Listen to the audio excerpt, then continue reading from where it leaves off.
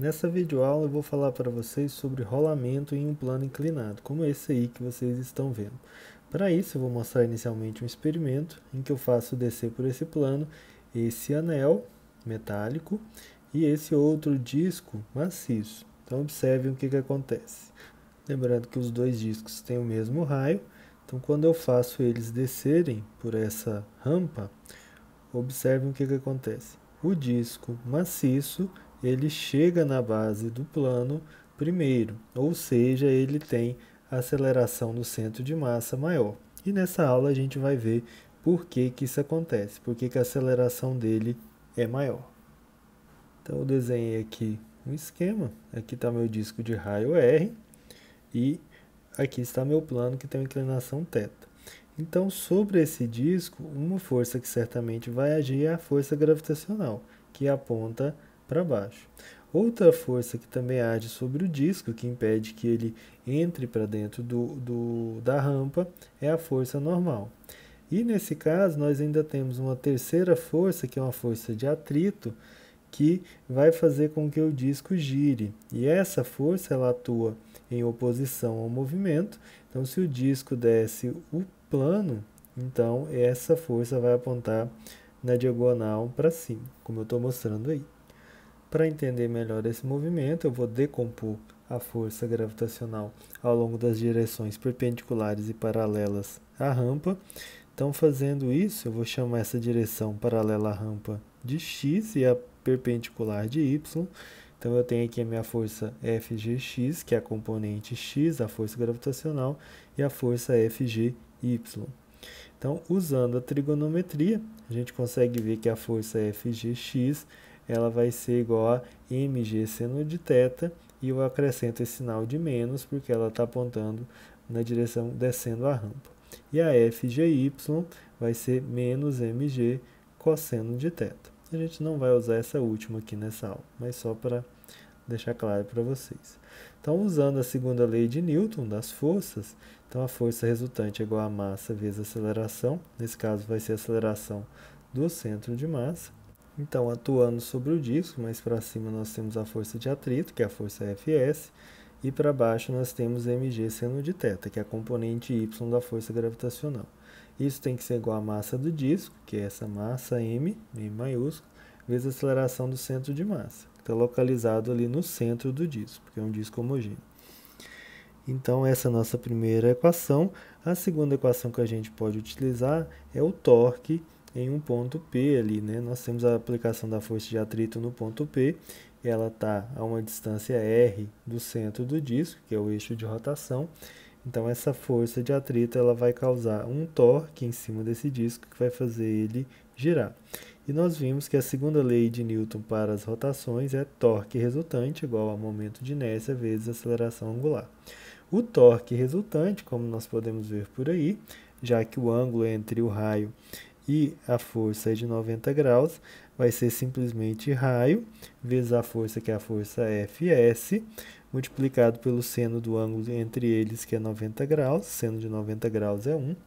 Então, o torque vai ser Fs vezes o raio. Isso tem que ser igual ao momento de inércia do centro de massa multiplicado pela aceleração angular. Então, se nós temos um rolamento suave, que é um rolamento em que não há deslizamentos, nós podemos escrever, como nós já vimos, que a velocidade do centro de massa é igual a r, que é o raio, vezes o ômega, velocidade angular.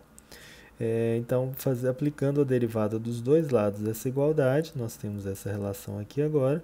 Como r é constante, ele sai da derivada, da segunda derivada, nós ficamos com a derivada da velocidade do centro de massa em relação ao tempo, é igual ao raio vezes a derivada do ômega em relação ao tempo. A de primeira derivada é igual à aceleração do centro de massa e a segunda derivada do ômega em relação ao tempo é exatamente a aceleração angular.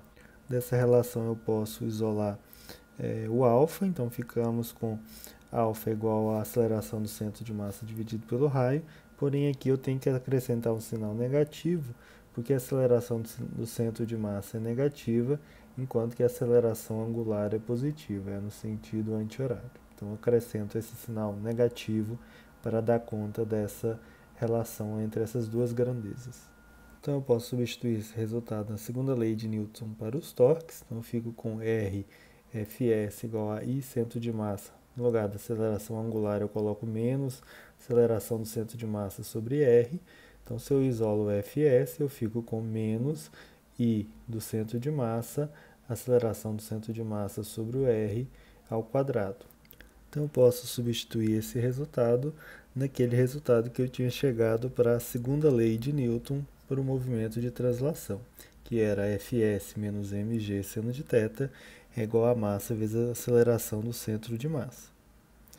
Então, fazendo essa substituição aqui no lugar do Fs, então vou ficar com menos ICM ACM dividido por R ao quadrado, menos mg seno de θ é igual a m, aceleração do centro de massa.